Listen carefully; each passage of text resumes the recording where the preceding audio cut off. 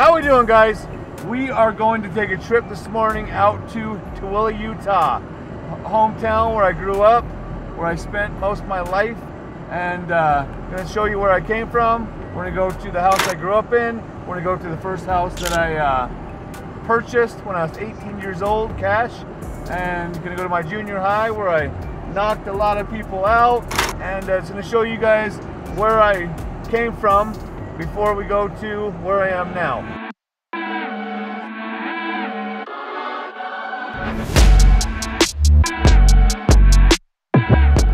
Yeah, I never, ever, ever, ever thought I'd leave my hometown, Tooele. Still love it. First year, I'd like, fuck this, we're going back, we're going back. And then I finally realized it was nice to have good places to eat. But it's crazy, at first I was going out here every week when I moved to Draper finally. And now I might show up out here once a quarter. And this is one of the only cool things you'll see the whole way out here is we actually do have Saltair. That's been there my whole life.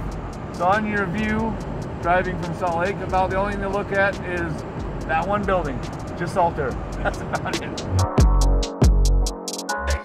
You know, it's funny what a lot of people do is they come out here and get their fucking family pictures in this absolute shithole beach, but it looks like it's the nicest beach ever in pictures, which is awesome. I love the building, but it's, you definitely get eaten by bugs. The one thing I absolutely loved about living in Tooele was you get done with work. So you work, you know, you work your full day. Driving to work, you have time to prep for work as you have that 35, 40 minute drive.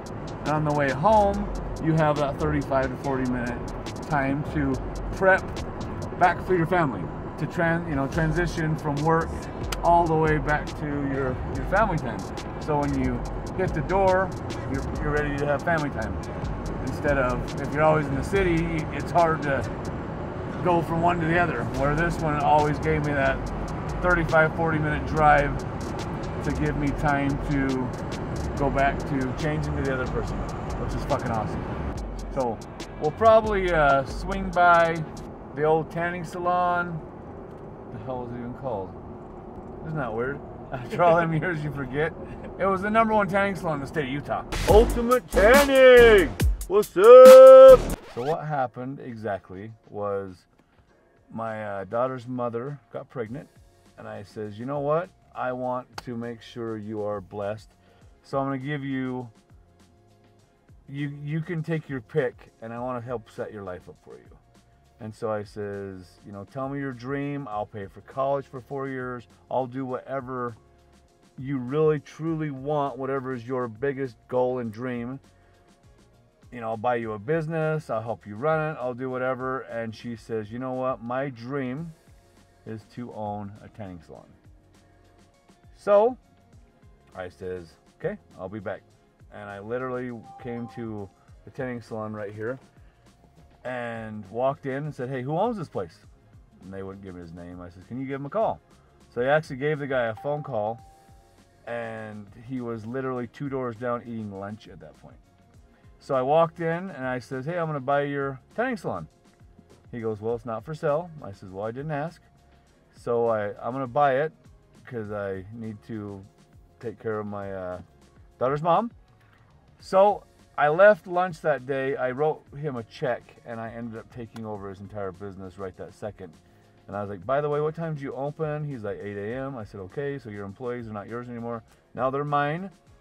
And we ended up taking over the tanning salon. It was called Ultimate Tanning in Tooele, Utah. And it became the number one grossing and netting tanning salon in the state of Utah. So what I did with that was right across the street is, back in the day was Gold's Gym.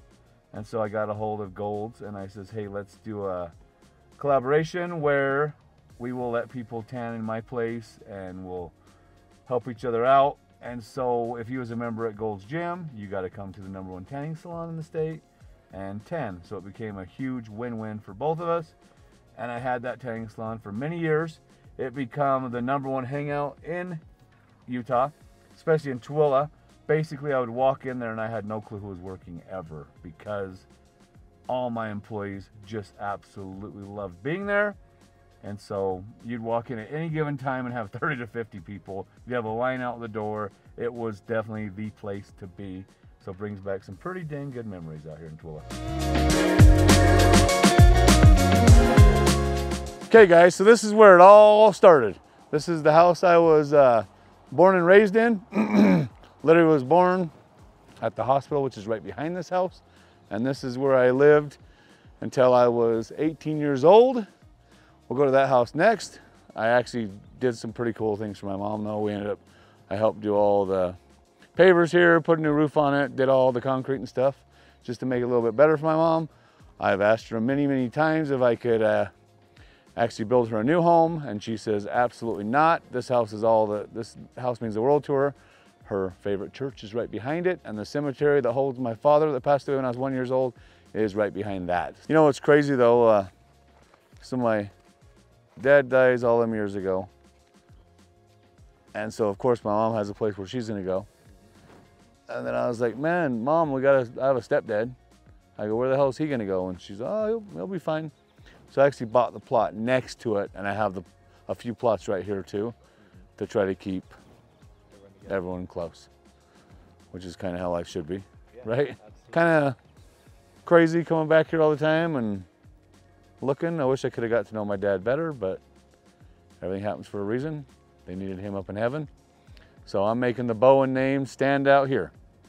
Okay, so we just went and visited my house where my mother actually still lives, the house where I grew up in, and now we are heading to the uh, very first house I ever purchased. I purchased this house cash at 18 years old. And so it's pretty sad for me now. I watch kids that are 40 and never bought a house yet. I bought my first house when I was 18 years old. It's not fancy. It's not nothing fancy, so don't get excited. But uh, we're heading there. We'll be there in just a minute. Okay, guys. So the first house I ever owned myself, I actually paid cash for this house when I was 18 years old, and it look it's right here, right on Sixth Street in Tooele, Utah and uh, had some great memories there.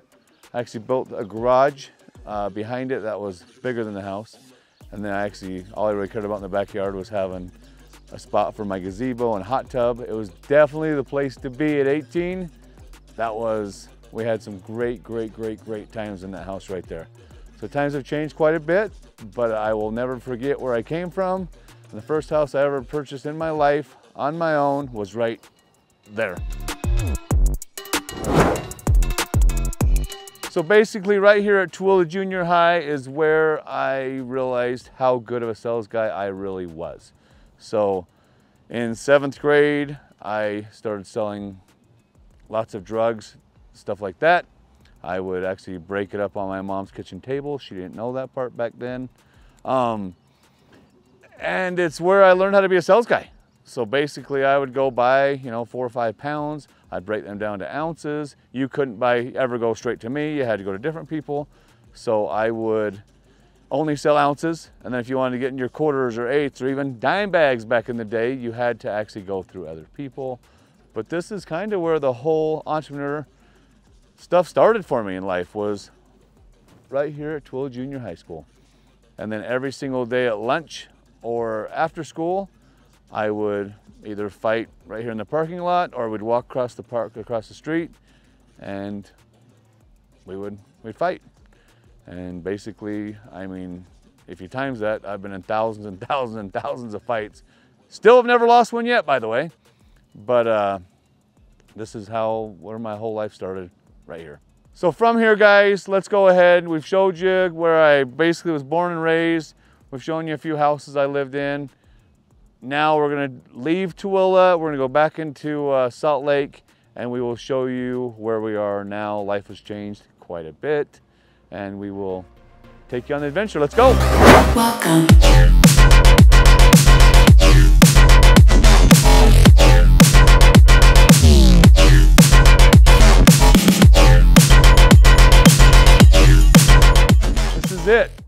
Basically, it's definitely the number one home in the state of Utah. And we just keep making it more and more and more amazing every day. So I keep finding new projects to do with it and it's been, it's gonna be pretty dang cool. So guys, I think let's uh, go ahead and let's go on in and we'll show you best view in the state of Utah by far guaranteed is up on our party pad up on top. So we will show you some amazing shit.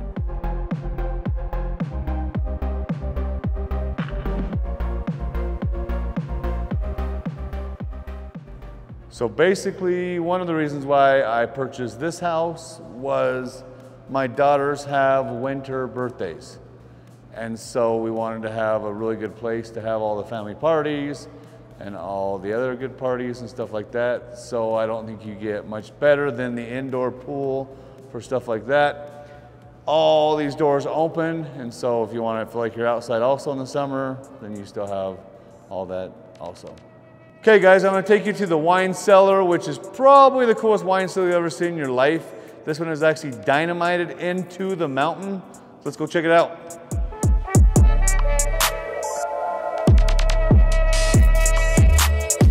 So as you can see, we're inside the mountain right now. They uh, dynamited every piece to make it absolutely flawless. And they say, you know, it always stays the same temperature in here.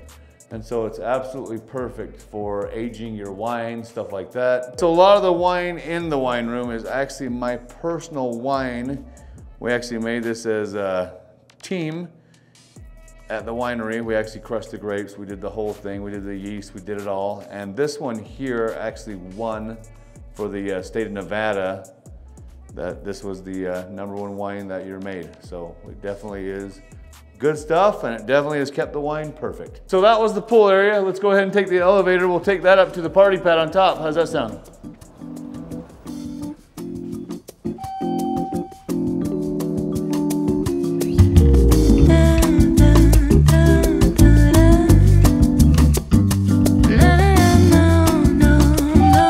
Well, welcome to the uh, rooftop party pad.